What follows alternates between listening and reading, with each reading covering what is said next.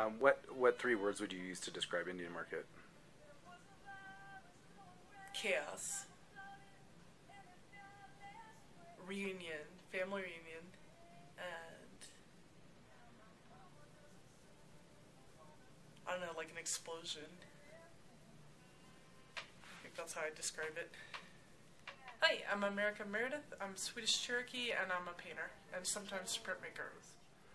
This time period right now is that one month before indie market where I'm in my studio, staying here all night, you know, getting the hand cramps, painting, painting, painting, because uh, it's not only indie market for me. Uh, I have shows coming up at Legends. I have my tribal show, the Cherokee Homecoming show, so I want to get two pieces in that. And I have a commitment to illustrate, uh, do 15 illustrations for a book about my tribe's oral history, so I'm really excited about that. So I'm hoping that can inspire work for indie market.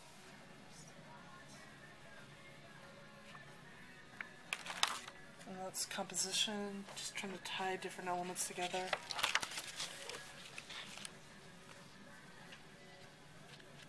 So these are these are going to be illustrations for different animal stories. So I'm just sketching out different animals and incorporating uh, kind of pre-contact iconography, pottery designs.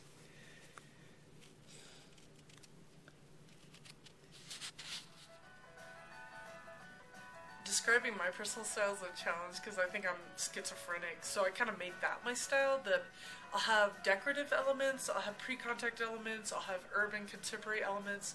So I think any of my pieces you're going to see a coming together of just completely different styles.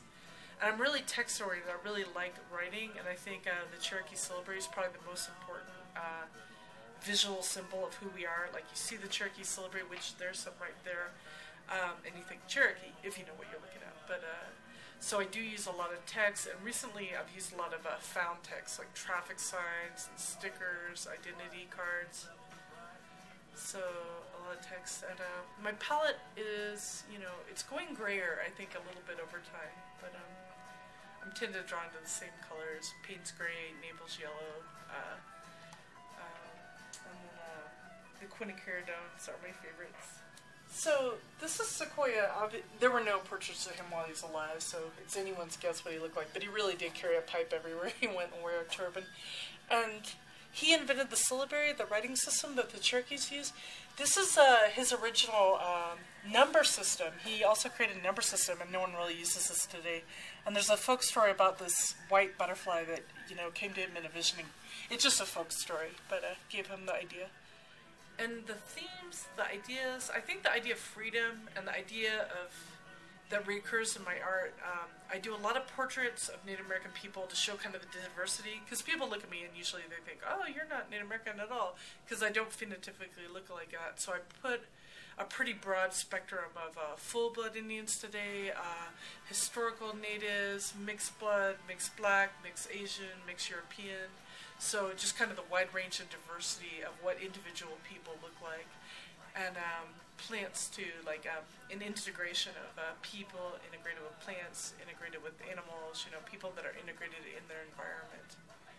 And sometimes that's a rural environment, sometimes that's an urban environment. And that's something else that comes up is kind of how different in today's world the rural lifestyle and the urban lifestyle is, and how it seems like they're moving kind of further and further apart.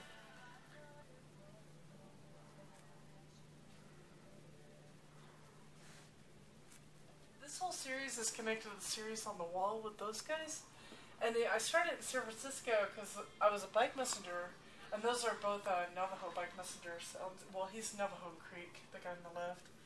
But uh, was about living in the city and dealing with these kind of silly post 9 11, like paranoia, these hoops people have to go through because all the bike messengers have to get these stupid stickers to go in any of the buildings downtown. So I just started collecting the stickers and kind of incorporating in this uh, this artwork. So I'm continuing it, and it's more about these birds. And these are all.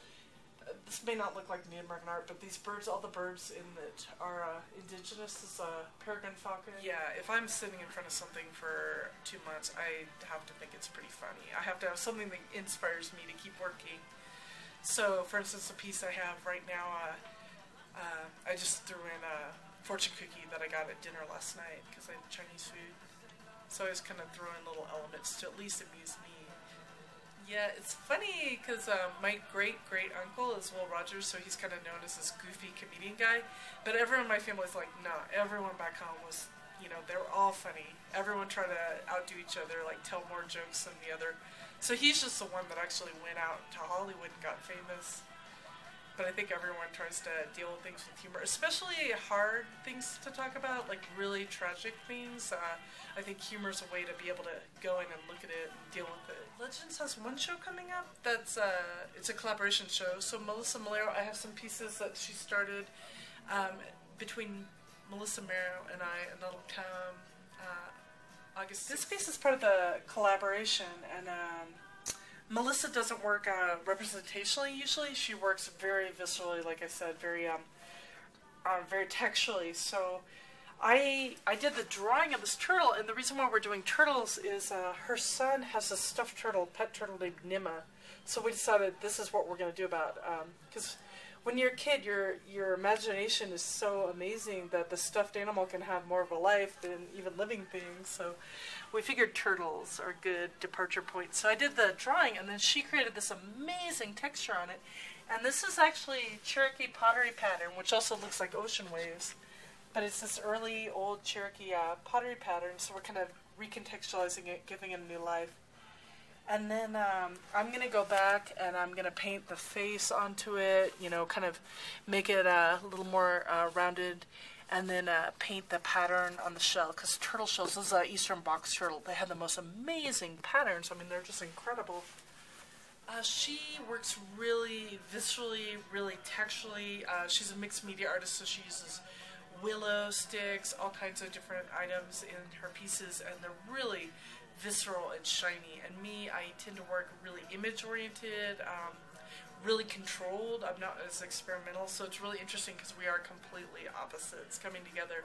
And so far, I have one one diptych that we both have finished that um, I'm really excited about. It's really nice because it's something none of us, neither of us would do on our own. Yeah, one good thing about indie market, which compared to art opening, at art openings everyone's you know being shishi, having good time, talking, but um, at indie market, people can come up and ask any question about your work, and I'm glad. I want people to ask questions, and I can actually sit down, I can explain it, which is really great. Because this is an example. Um, you know, if you just look at that, you're like, what's going on? But it's about uh, Charles Curtis, our Native American vice president under Herbert Hoover and he was a Potawatomi, so I put Potawatomi ribbon work. He's Kaw Osage. So I kind of used Pink Panther. This guy's Snagglepuss, but uh, this pink idea of being a white and Indian, red and white pink. So it's kind of nice to be able to have that little moment where you can actually convey what your what your art's actually about to people. Yeah, it's amazing. Um, the connection with the artist is amazing to see the art and then see the person who made the art because sometimes it's so incongruous. You're like, what? You made that? No way. And I always think when you actually know who's making art, I, I tend to only collect from people I know, uh, that uh, it adds this whole other dimension to the art. So when you look at it, you think about the person as well. Indie market, like, it's funny because as an artist, I have to stay in my booth, so I don't really get to run around and visit. So I like to hear what's going on. But um, it's so overwhelming that if you're new to indie market, uh, you got to do your research. You got to look up your artists, do a little research, plot who you're going to see because it's impossible to see everyone. So you have to be strategic.